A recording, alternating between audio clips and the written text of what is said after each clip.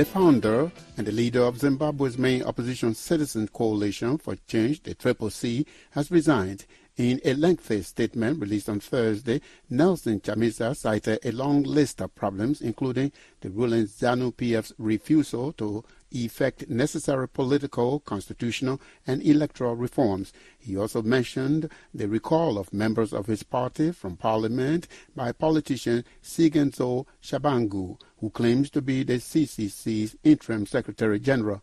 Chamisa said he will remain an active public servant and loyal citizen listener. Tendai Ruvimbo Mbofana is a Zimbabwe social justice advocate and writer. He tells me that Chamisa should have done a self-assessment of his leadership of the party and taken responsibility for any shortcomings. He produced a, long, long, long press statement in which he sort of tried to chronicle the events that took place from the time of the elections last year, in which there was a lot of uh, irregularities and uh, a lot of um, violation of the constitution, things that were also highlighted by SADC and the European Union observer missions that were here in Zimbabwe, such as, you know, the Zimbabwe Electoral Commission failing to provide the voters' roll, intimidation of voters, as well as, uh, you know, state media, which was biased against uh, the opposition. And then he was saying after the elections, we also saw the emergence of this Sengezo Tshabangu, who claims to be the interim secretary general of the Triple C, adding to an already compromised political situation in which elections were rigged.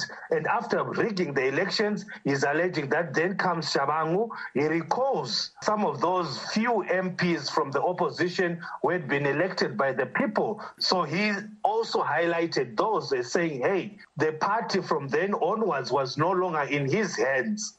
And he was saying that the Triple C had effectively been captured or hijacked by ZANU PF. Okay, but let me ask you because I interviewed Chamisa yesterday on this program. When I asked him about perceived problems within the Triple C, he seemed to, as you said, to blame the ruling ZANU PF we have to accept that uh, the ruling ZANU PF has been attacking the opposition, any opposition that it has felt threatened by. But Chamisa himself has to be honest. He has to look at himself in the mirror for him to also take responsibility and culpability for what, has been happening in the opposition in his triple C of late. Remember, in our previous interview with you, I did advise that Chamisa, what he needs now to do is immediately go for an elective Congress, get structures, leadership structures in place that are recognized and have a constitution that will be clear guidelines on how his party operates. He has not done that up to today when he's coming out now and announcing that he's leaving the Triple C. Yes, he can announce that he has left the Triple C, he has abandoned the Triple C, he has ditched the Triple But effectively he was no longer in charge of the Triple C. So let me ask you now. He says in his statement that uh, as a patriot, I remain active in public service. What do you suppose he's going to be doing now? Unfortunately, that is a very vague and ambiguous statement. Uh, you know, he's not coming out clearly and saying, is he going to form a new party? What is he going to do? Because that can mean anything. That could mean that he will continue just commenting, you know, on political activities that are happening in Zimbabwe and not being actually actively involved in the politics of the country. That could mean that. So it's quite possible that Chamisa is somehow actually retiring from politics altogether. It's quite possible. I'm not saying that's what's going to happen. We don't know. Tendai Ruvimbo Mbofana is a Zimbabwe social justice advocate and a writer. He was speaking with us from the capital, Harare. The president of Namibia is set to undergo medical treatment in the United States after a medical exam found the possible return of cancerous cells in his body, according to a news release from his office, Vitalio Angula reports from Windhoek, Namibia. Having previously been diagnosed, treated, and cleared of prostate cancer, Namibian President Hage Geingob has again been diagnosed with the presence of cancerous cells after undergoing routine colonoscopy, gastroscopy, and biopsy procedures earlier this month. The CEO of the Cancer Association of Namibia, Rolf Hansen, told VOA the president has been open about his cancer diagnosis in the past. He said early detection and treatment played a huge role in Geingob's past treatment and recovery. The scope that was done indicates that there might be cancerous cells um, in the soft tissue, perhaps the gut, the stomach, something like this. Mm-hmm. But until there is a formal prognosis by a doctor, that has been publicly released. It's all speculation, and therefore we also caution. We say, you know, this is a challenging time. Let us hear what the presidency wants to release.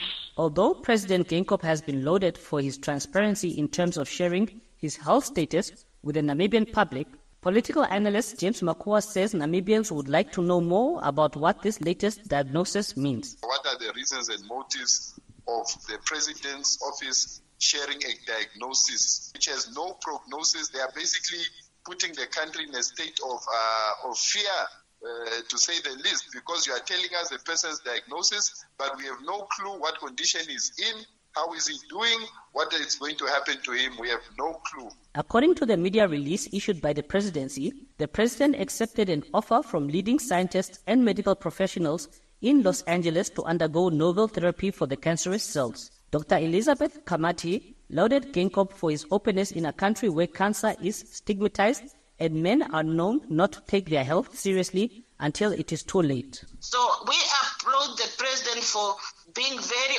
open to us as his subject or his people to inform us that he is sick and so that he can encourage other men who are also going through the same uh, disease of cancer, which is somehow a taboo in our society to come out and tell them cancer is real and diagnosed with cancer does not mean a death sentence. The president has come under harsh criticism in the past for seeking medical treatment abroad. However, Namibian doctors acknowledge that cancer treatments are relatively specialized and the country does not have the equipment and medical expertise to treat the disease effectively. Vitalio Angula for VOA News, Windhoek, Namibia.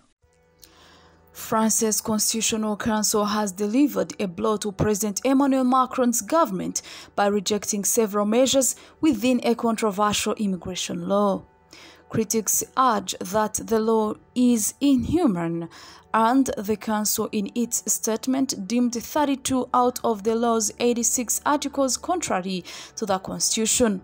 The rejected measures included those making it more challenging for immigrants to reunite with their families in France and limiting their access to social welfare. Additionally, the law aimed to enhance France's ability to deport foreigners considered undesirable.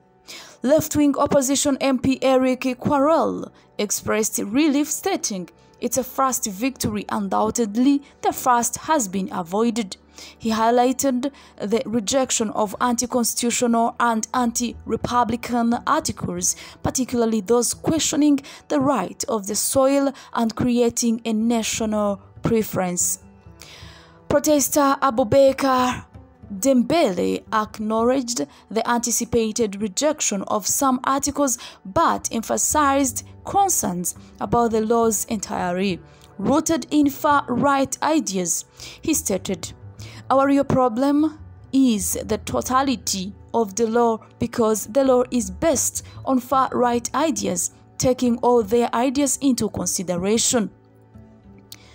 The contentious immigration law had faced criticism for allegedly compromising French values and aligning with far right ideologies. Demonstrations took place outside the Constitutional Council, with protesters denouncing the government's alleged concession to Marine Le Pen's far right National Rally Party to, rest, to secure the law's passage through Parliament. Sunday's nationwide protest saw approximately 75,000 people voicing their opposition to the legislation urging Macron not to sign it into law. The rejection of key measures by the Constitutional Council adds to the challenges facing Macron's government and underscores the growing influence of far right sentiment in French politics.